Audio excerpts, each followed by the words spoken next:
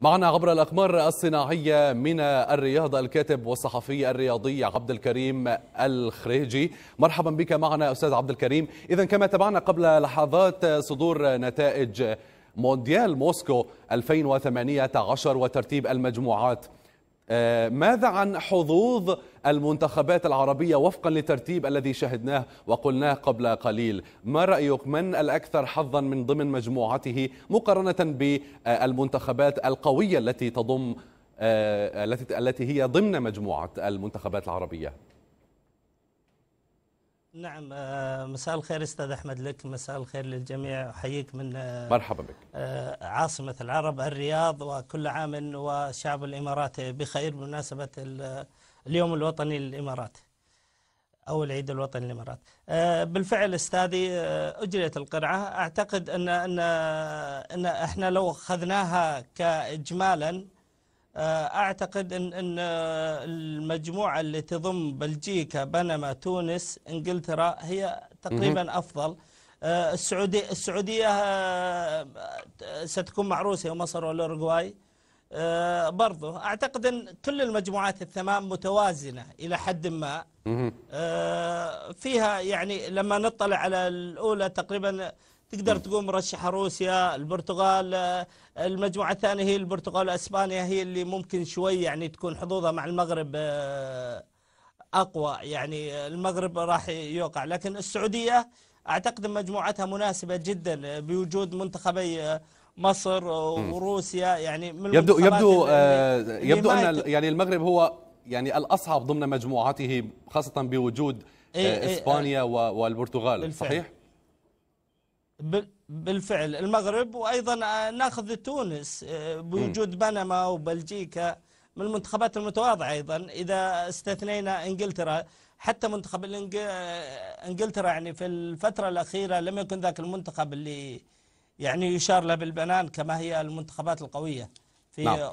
ماذا ماذا سيد محمد عن آه، نجوم العرب مثل اللاعب محمد صلاح في آه، نادي ليفربول الإنجليزي، هل تتوقع أن يقدم هؤلاء النجوم لمنتخبات بلدانهم مثل ما قدموه لأنديتهم؟ هل سيكون هناك فارق في حضورهم في خلال من مونديال 2018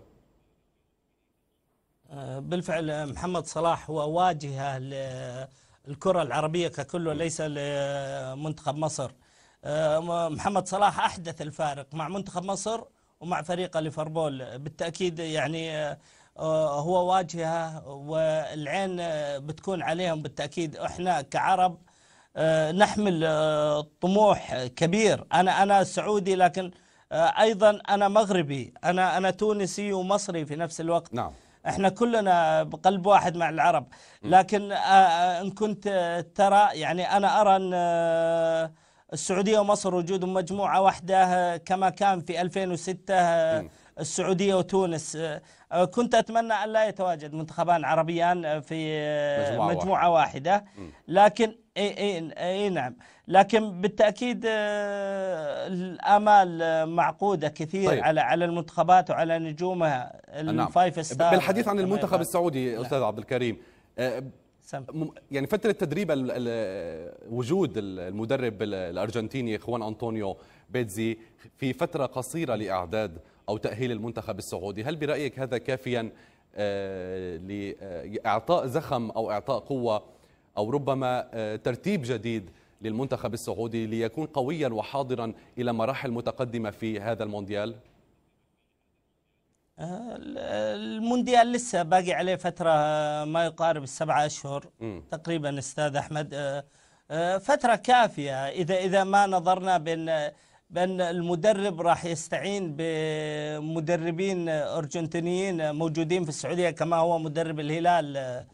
آه، مدرب الهلال أيضا مدرب آه، فريق التعاون. آه، كل كلهم أرجنتينيين من نفس جنسيتهم ممكن يفيدوه كثير في هذه خصوصا أن المدرب الهلال له موسمين الحين وعارف كل شيء على الكرة السعودية.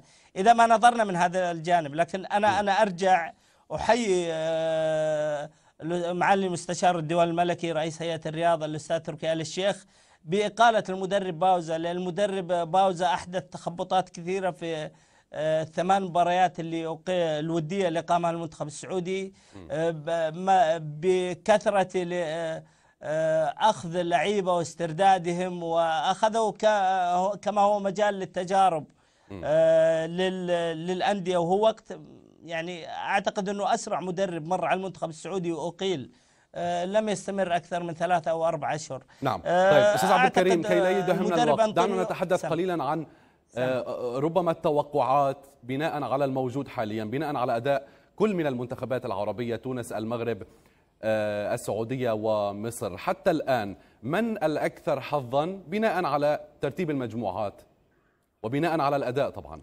طيب أنت؟ آه، بالاداء آه، إحنا إحنا لما ننظرها ممكن السعودية وتونس آه، والمغرب تأهلوا خمس مرات مصر هي الوحيدة اللي ثالث تأهل لها في كأس نعم. العالم. أعتقد إيه أن أنا حظوظ المنتخب المغربي قد تكون صعبة. السعودية ومصر راح يتأهل واحد منهم. ما أعتقد إن اثنين بيتأهلون. منتخب تونس هو الأكثر حظوظ. بوجود فريقين يعني بلجيكا وبنما. تونس. أكثر حظ. الأوفر حظ تونس نعم. بوجود بلجيكا وبنما أيضا المنتخب الإنجليزي لم يكن ذاك المنتخب لكن منتخب تونس يعني أتمنى أتمنى أن انه يعد الاعداد الصحيح لأن تأهله كان مستحق لكن كنا نتمنى أن يكون تأهل في فترة أقرب من الفترة لأنه جاء في الفترات الأخيرة أو في المراحل الأخيرة كان عليه المفروض يتوجب أنه يتأهل المراحل الأولى يعني يضمن التاهل كما هو مصر والسعودية يعني. نعم. ماذا عن منتخب البلد المضيف المنتخب الروسي؟ آه، يعني ليس له بالعودة إلى تاريخ هذا المنتخب ليس له هذا الحضور القوي. ماذا إن خرج من الدور الأول؟ هل سيفقد مونديال 2018 في هذه الحالة زخمه الجماهيري؟ أم أن الموضوع لا يتعلق به؟ أه لا لا لا أعتقد كثيرا. أنت لما تنظر لكأس العالم هو هو عالم المجنونة كما يقال له أو حضور جميع المنتخبات. يعني أنا أشوف في السعودية هنا كثير جالسين يحضروا من الآن للحضور يستخرجوا التأشيرات للدخول لروسيا والاستعداد. كل كل المنتخبات راح تحضر.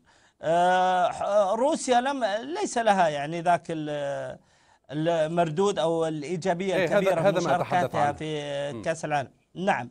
لا لا أعتقد. روسيا بلد آه، بلد سياحي يعني. آه، العالم هو وجهة سياحية من ضمن وجهات العالم. بالتأكيد راح راح تكون في جاليات كثيرة. ربما لو يفتقد لا أعتقد أنها ستكون أكثر من 7 إلى 8% المنتخبات الثانية راح يكون لها حضور كثير برضو أيضا. نعم. الجاليات في روسيا كثيرة سواء العربية والأوروبية. وهذا أمر إيجابي طبعا لمنتخباتنا العربية. أشكرك جزيل الشكر عبد الكريم الخريجي الكاتب والصحفي الرياضي متحدثا إلينا مباشرة عبر الأقمار الصناعية. ونتمنى طبعا آه، كل الحظ والتوفيق لمنتخباتنا العربية المشاركة في مونديال موسكو 2018